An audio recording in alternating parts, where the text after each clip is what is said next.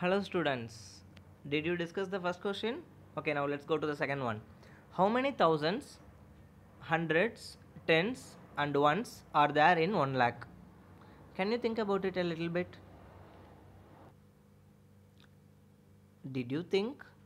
Okay, so here you see 1 lakh. The first question is how many thousands are there in 1 lakh? So here you see 100,000 yeah? How many hundreds are there? You have to round like this. Thousand hundreds. This is 100 right? Two zeros gives us the 100 so thousand hundreds hundred thousands. How many tens are there? How do you have to circle? You have to circle like this.